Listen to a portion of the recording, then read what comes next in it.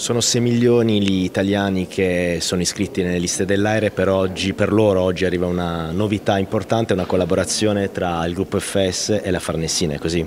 Sì, sì, sono quasi 7 peraltro, quindi è un po' di più.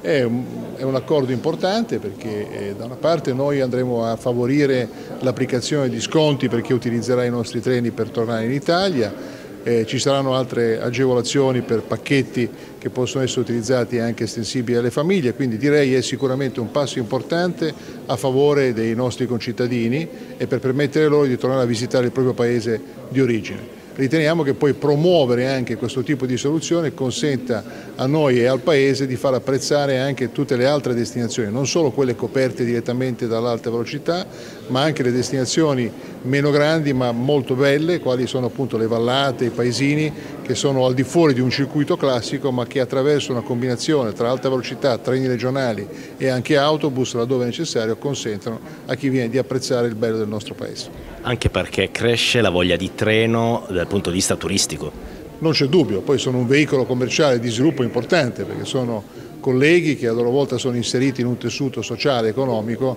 e possono anche loro indirettamente fare promozione. Oggi abbiamo siglato questo accordo con la Farnesina che ci consentirà di avere accesso alle nostre ambasciate e ai nostri consolati per promuovere sia questo pacchetto di soluzioni ma anche l'utilizzo del treno come, come veicolo per poter apprezzare il nostro Paese.